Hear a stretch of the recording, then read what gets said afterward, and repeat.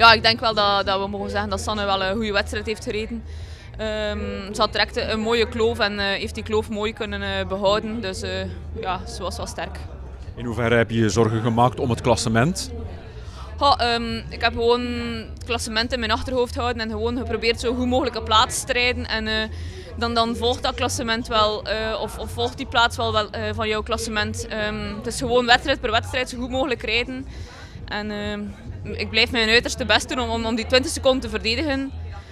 Um, maar er komen nog heel wat wedstrijden en om al te zeggen van ik kan het klassement behouden, dat vind ik uh, nog uh, ruim allez, heel wat heel, heel voorbarig al.